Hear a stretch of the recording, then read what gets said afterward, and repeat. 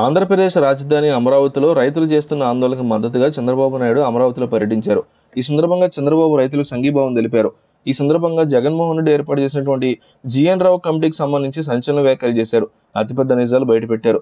GN రావు తన దగ్గర ఇదే గుంటూరులో పనిచేశారని చంద్రబాబు గుర్తు చేశారు. మనకు తెలియని విషయాలు ఈ మేధావులకు తెలుస్తాయట అని స్పందించారు.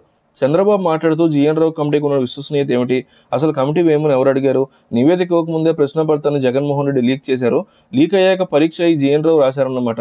అది జగన్ కమిటీయే తప్ప జీఎన్ రావు కమిటీ కాదు. జీఎన్ రావు కమిటీ ఇక్కడికి వచ్చిందా? అందరితో మాట్లాడారా? ముప్పై వేల ఎకరాలు మీరు ఇచ్చారా? మీకేం కావాలి? నన్ను రిపోర్ట్ ఇవ్వమన్నారని అడిగారా? అంటూ చంద్రబాబు స్పందించారు. ఎన్నాళ్ళు ఇళ్ళలోంచి బయటికి రాని ఆడబిడ్డలు రోడ్డు మీదకి వచ్చారు.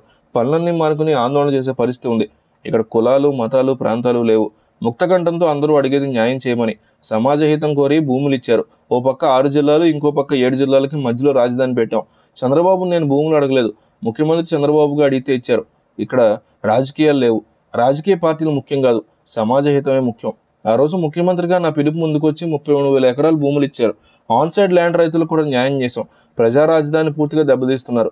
అసెంబ్లీ సెక్రటరియట్ నాలుగు భవనాలతో అభివృద్ధి సాధ్యం కాదు. సంపద సృష్టించడం అభివృద్ధి అంటే అమరావతి పైన ఆదాయం రాదన్నారు.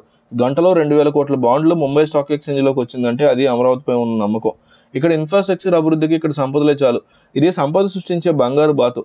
ధైర్యం ఉంటే హైకోర్టు ద్వారా సిట్టింగ్ జడ్జితో న్యాయ విచారణ జరిపించింది. తప్పుడు చేసిన వారికి శిక్షించండి. మేము కూడా పూర్తిగా సహకరిస్తాం. నా సవాల్ స్వీకరించున్నాయి కానీ ఆ పేరు చెప్పి అమరావతిని చంపడం న్యాయం కాదు.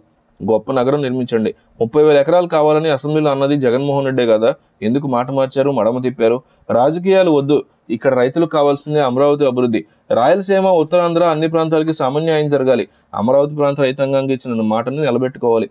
చంద్రబాబు ఇదంతా తన ప్రసంగంలో చెప్పుకొచ్చారు.